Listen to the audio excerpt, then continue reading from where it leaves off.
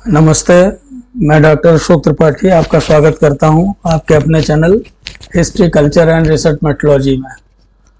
साथियों, आज हम विश्व इतिहास के एक बहुत ही महत्वपूर्ण टॉपिक पर चर्चा करेंगे और बहुत ही संक्षेप में नोट्स के साथ चर्चा करेंगे। जैसे मैं पिछले कुछ दिनों से आपको नोट्स भी दे रहा हूँ अपने हाथ से बनाए हुए, जिससे कि आपको परीक्षाओं में आसानी हो। आज का जो विषय है वो है जापान में सैनिकवाद का उदय और विकास।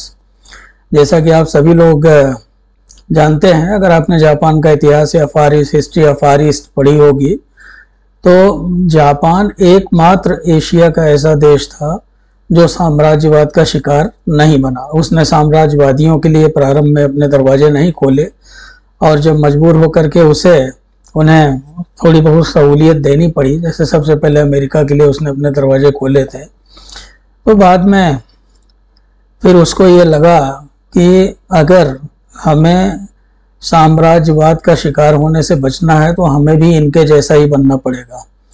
और फिर जापान में जो सामंतवादी शासन व्यवस्था थी, उसके खिलाफ एक क्रांति हुई और उस क्रांति के बाद वहाँ जो है मेईजी रेस्टोरेशन जिसे बोलते हैं, मेजी रेस्टोरेशन, यानी कि जो मध्यकाल में मेईजी वहाँ के राजा को बोलते हैं, शासक को, जो वहाँ का राजा जो था वो, जिसके ऊपर सामंतों ने एक तरह से अधिकार कर लिया था, यानी कि सामंत जैसा चाहते थे वैसा ही वो करता था, लेकिन अब उसकी पावर को रेस्टोर किया गया और फिर उसके बाद उस समय टोकुगावा शोगुन जो थे धीरे धीरे उनका प्रभुत्व खत्म हुआ और फिर जापान का मॉडर्नाइजेशन प्रारंभ हुआ, यानी जापान का आधुनिकीकरण प्रारंभ हुआ।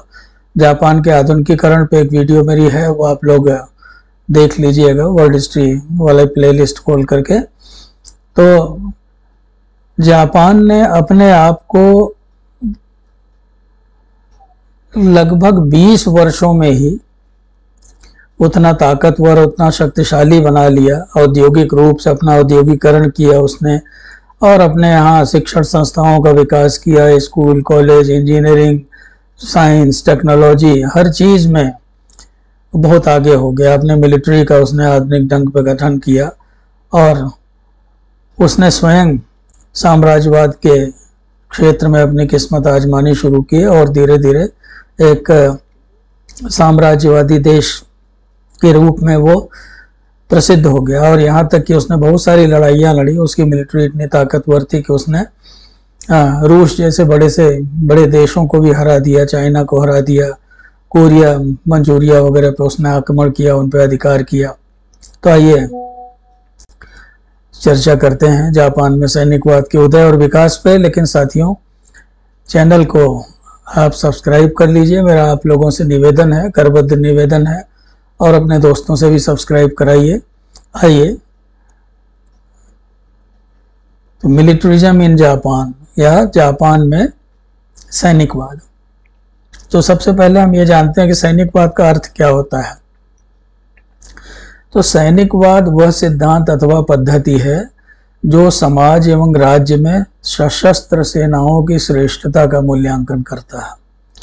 सैन्यवाद का स्वाभाविक अर्थ होता है संपूर्ण समाज का युद्ध सन्नाह तथा सैन्यकरण। यानी कि एक ऐसी परिस्थिति पैदा कर देना कि पूरा का पूरा समाज वो युद्ध की बातें सोचने लगे। उठते, बैठते, सोते, जागते केवल युद्ध की बात करें। यानी कि जिसे शांति पसंद न हो।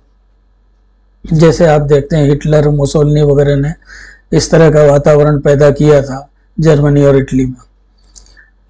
तो इसका भावनात्मक पक्ष होता है समस्याओं का युद्ध के माध्यम से निवारण, न कि शांति के माध्यम से। यानी कि जो भी देश सैन्यवाद में विश्वास रखते हैं, वो किसी भी समस्या का समाधान युद्ध के माध्यम से करने के पक्षधर होते हैं।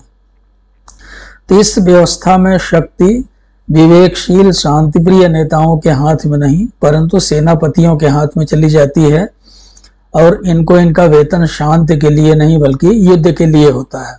अब जैसे आज भी आप देखते हैं कि बहुत सारे देश ऐसे हैं दुनिया में, जहाँ की, वहाँ की जो सेना होती है, उसी की चलती है। वहाँ की सेना जो है वो अपने शासकों के ऊपर हावी रहती है, सेना जैसा चाहती है, वैसे ही करते हैं सब। हमारे पड़ोस में, पाकिस्तान में भी बहुत समय तक आप देखिए, और अभी भी सेना के कहने पर ही सब कुछ वहाँ पर होता है।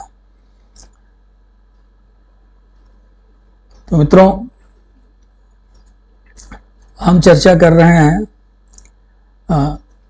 विश्व युद्धों के समय की मतलब जब ये परिस्थितियाँ बनी कि विश्व युद्ध होना अनिवार्य हो गया और उसके बाद एक ही विश्व युद्ध नहीं हुआ, बल्कि दूसरा विश्व युद्ध हुआ। तो उस समय जापान की जो सैन्यवाद था जापान का, वो अपने चरम पर था। तो दोनों विश्व युद्धों के बीच जापान में हम एक आदर्श प्रकार का सैनिकवाद परिलक्षित करते हैं।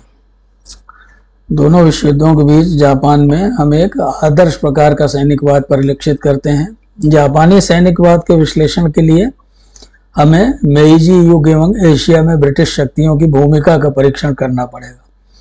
अभी हमने मेईजी पुनस्थापना की चर्चा की प्रारंभ में। मेईजी पुनस्थापना के उपरांत जापान का पाश्चात्यकरण एवं औद्योगिकरण बड़ी तेज़ी से हुआ, जिसके परिणाम बड़े महत्वपूर्ण साबित हुए। मेईजी पुनर्स्थापना, अंग्रेज़ी में जिसे बोलते हैं मेईजी रेस्टोरेशन, यानी कि जापान के का जो राजा था, उसकी शक्ति की पुनर्स्थापना। तो मेईजी पुनर्स्थापना के फलस्वरूप जापान के सैन्य बल में अपार वृद्धि हुई एवं जापान में साम्राज्यवादी भावना का विकास हुआ। नए नए वैज्ञानिक हथियार बने एवं पाश्चात्य ढंग पर नई सेना का संगठन हुआ। जापान एशिया का सबसे शक्तिशाली देश बन गया। चीन एवं रूस के प्रति उसकी प्रारंभिक सफलताओं ने जापान की महत्वाकांक्षा में वृद्धि की एवं जापान को इस दिशा में मजबूती से अपने पाँव जमाने का अवसर मिला। जैसे हम लोग अब चाइना और जापान का इतिहास पढ़ेंगे, जिसे कहा जाता है हिस्ट्री ऑफ़ फार ईस्ट या सुदूर पूर्व का इतिहास। तो आप देखेंगे कि जापान ने जब अपना आधुनिकीकरण किया था तो सबसे पहले उसने चाइना के विरुद्ध ही अपनी किस्मत आजमाई थी और साइनो जैपनीज वार बोलते हैं उसे, और चीन को उसने कई बार युद्धों में पराजित किया। तो राजनैतिक आर्थिक शक्तियों के साथ ही साथ जापान की एक राष्ट्रीयतावादी पृष्ठभूमि भी थी। देश से बढ़कर कुछ नहीं, इस विचारधारा ने जापान के सैनिक प्रसार के प्रति प्रेरक बल का कार्य किया। जापान में पूंजीवाद का विकास, यूरोपीय देशों जैसे ब्रिटेन, फ्रांस आदि के पूंजीवाद से किंचित भिन्न था। यानी कि जापान का जो जापान में भी पूंजीवाद का विकास हुआ, लेकिन वो ब्रिटेन, फ्रांस आदि के पूंजीवाद से थोड़ा अलग था। कोआचिरो ताकाहाशी के शब्दों में ये इतिहासकार हैं जापानी के जापान के तो कोहाचिरो ताकाहाशी के शब्दों में यहाँ इसका विकास निरंकुशता के समेकन एवं सामंती अभिजात वर्ग के संरक्षण एवं नियंत्रण के आधार पर हुआ। और यही कारण था कि औद्योगिकरण एवं पाश्चात्यकरण जापान के जोरदार एवं सुस्पष्ट राष्ट्रवाद को दबा नहीं सका। मित्रों, जापानी सैनिकवाद की आदर्शवादी पृष्ठभूमि समान रूप से महत्वपूर्ण है। सम्राट को नैतिकता एवं राजनैतिक वैधता का अंतिम आधार बनाकर जापान के पॉलिटिकल, रिलीजन या राजनैतिक धर्म का अनुमोदन इस संबंध में एक महत्वपूर्ण तथ्य था जो कि शिंतो संप्रदाय के प्रभाव में सामने आया। शिंतोवाद पूजा की एक पद्धति थी, किंतु इसका प्रयोग उग्र राष्ट्रवाद का प्रतिनिधित्व करने के लिए किया गया, जो कि दैवी उत्पत्ति के सिद्धांत पर आधारित था। जबकि आप देखिए, जापान में बुद्धिज्म का भी प्रसार हुआ। बुद्धिज्म अहिंसा वगैरह की बात करता था। लेकिन यहाँ हम ये देखते हैं कि शिंतोवाद ने, जो कि जापान में प्रचलित था एक धर्म के रूप में, जो कि उनका पॉलिटिकल रिलीजन हो गया एक तरह से, और उसने उग्रवाद, राष्ट्रवाद को बढ़ावा दिया। दूसरा आदर्शवादी कारण जापान का मनरो सिद्धांत था। विस्तारवादियों द्वारा यह आश्वासन दिया गया था कि जापान का मिशन चीन से यूरोपीय प्रभाव समाप्त कर उसकी सहायता करना है। उसी भांति जैसे संयुक्त राज्य अमेरिका ने लैटिन अमेरिका में किया था। तो इस सिद्धांत के द्वारा जापान पूर्वी एशिया में नई व्यवस्था उत्पन्न करने का प्रयास कर रहा था। वो ये चाहता था कि पूर्वी एशिया में उसकी तूती बोले वो जैसा चाहे जापान वैसा पूर्वी एशिया में हो। और काफ़ी हद तक उस समय हो भी रहा था। सैनिक विजयों द्वारा जापान की समृद्धि का स्वप्न हाँ, तो सैनिक नेताओं के पूर्वाभिमुखीकरण एवं साहसिक कदम उठाने की उनकी इच्छाओं ने भी सैनिक गतिविधियों की लहर की पृष्ठभूमि निर्मित करने में महत्वपूर्ण भूमिका निभाई। वे सैनिक विजयों का अनुसरण कर जापान को महान राष्ट्र बनाना चाहते थे। तो ये सैनिक नेता जो थे, वो सैनिक विजयों के, का अनुसरण करके जापान को एक महान राष्ट्र बनाना चाहते थे। विस्तारवादी घटनाओं को प्रारंभ करने की तात्कालिक भूमिका उन्नीस सौ उनतीस ईस्वी के आर्थिक संकट ने निभाई। जो काफ़ी समय तक चला। तो सन उन्नीस सौ उनतीस एवं 1931 के बीच आर्थिक संकट के कारण जापान के विदेशी व्यापार का मूल्य घटकर लगभग आधा रह गया था एवं जापान में गंभीर आंतरिक अशांति की आशंका उत्पन्न होने लगी।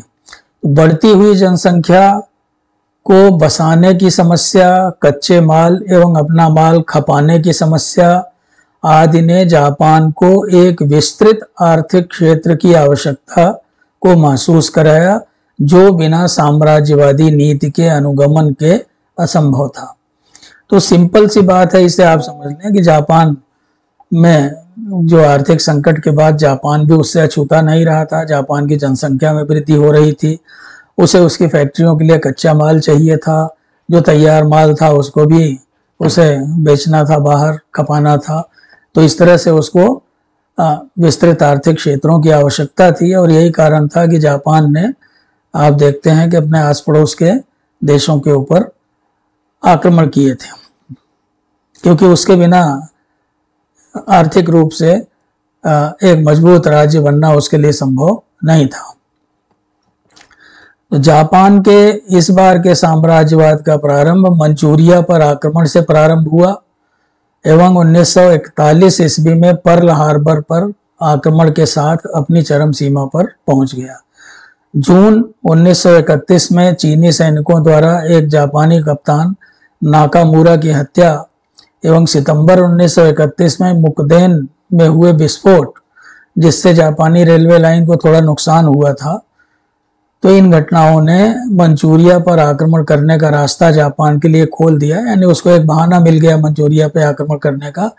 चीनी आक्रमण से जान माल की रक्षा के नाम पर जापान ने अपना आधिपत्य क्षेत्र बढ़ाना प्रारंभ किया एवं 4 जनवरी 1932 को दक्षिण मंचूरिया पे आक्रमण कर दिया उसने और उसका दक्षिण मंचूरिया के ऊपर पूर्ण आधिपत्य हो गया। तो 18 फरवरी 1932 को जापान ने मंचूरिया का नाम बदलकर मंचकुओ रख दिया, एवं वहाँ एक कठपुतली सरकार कायम कर दी। इसके बाद जापान चीन में अपने विशेष हितों को निश्चित करने में बहुत सुस्पष्ट हो गया, एवं स्वयं को सुदूर पूर्व में शांति का मसीहा प्रचारित करने लगा। उन्नीस सौ सैंतीस ईस्वी में मार्को पोलो पुल की घटना ने उन्हें चीन के साथ दूसरे संघर्ष में उलझा दिया। किंतु इस घटना के साथ साथ जो वास्तविक तथ्य था, वह यह था कि जापान चीन के ऊपर अपना नियंत्रण रखना चाहता था। जब द्वितीय विश्व युद्ध प्रारंभ हुआ तो जापान को पूर्वी एशिया में सह समृद्धि क्षेत्र या को प्रोस्पेरिटी स्फेयर बनाने का अच्छा अवसर मिला। जापान ने 1936 में, जर्मनी एवं उन्नीस सौ सैंतीस में इटली से संधियाँ की। इस प्रकार इस संधि के अनुसार जर्मनी एवं इटली ने पूर्वी एशिया में जापान के आधिपत्य स्थापित करने के अधिकार को मान लिया। तो इसको जो रोम, बर्लिन, टोकियो, धुरी कहा जाता है, रोम, बर्लिन, टोक्यो, एक्सिस, वो बना था। और तो ये चूँकि तीनों ही देश जो थे, इटली में मुसोलनी, हिटलर और जापान के जो सैनिक प्रशासक थे तो ये सब जो है एक ही विचारधारा के व्यक्ति थे। जापान के इस संबंध में किए गए प्रयास अमेरिका के साथ सीधे संघर्ष के रूप में सामने आए। अमेरिका जापान के प्रति कड़ा रुख अपना लिया था अमेरिका ने और जापान पर एक व्यापारिक प्रतिरोध, प्रतिबंध लगा दिया था। तो इस संघर्ष का अंतिम परिणाम जापान द्वारा पर्ल हार्बर पर आक्रमण के रूप में सामने आया, जो कि दिसंबर 1941 में हुआ था। इस घटना के ने सुदूर पूर्व को विश्व युद्ध की महाविपत्ति में फंसा दिया। तो जहाँ तक जापानी सैनिकवाद के विश्व शांति पर प्रभाव का प्रश्न है, एक शब्द में कहें तो यह बहुत ही विध्वंसक था। जापान की विकृत महत्वाकांक्षा, जिसके द्वारा वह एक महान शक्ति बनना चाहता था, ने उसे मित्र राष्ट्रों के साथ सीधे संघर्ष में ला खड़ा किया। इसका परिणाम हुआ कि विश्व युद्ध का मार्ग प्रशस्त हुआ और इसका परिणाम जापान के लिए और मानवता के लिए बहुत भयंकर सिद्ध हुआ। क्योंकि आप देखते हैं कि विश्व युद्ध समाप्त होते होते जापान के ऊपर हिरोशिमा और नागासाकी के ऊपर परमाणु बम गिराए गए थे। और जिससे जापान को भयंकर जान माल का नुकसान सहना पड़ा। तो इस प्रकार में तो जापान में किस प्रकार से सैनिकवाद का उदय हुआ और कैसे धीरे धीरे उसका विकास हुआ ये बहुत ही संक्षेप में मैंने आपको बताने का प्रयास किया। तो मित्रों, वीडियो को सब्सक्राइब कर लीजिए। Please please please. और लाइक भी कीजिए। और साथ ही साथ इसे शेयर भी कीजिए। सब्सक्राइबर बढ़ाने में मेरी मदद कीजिए। जल्दी ही फिर कोई वीडियो लेके हाजिर होता हूँ आपके सामने। शुभ रात्रि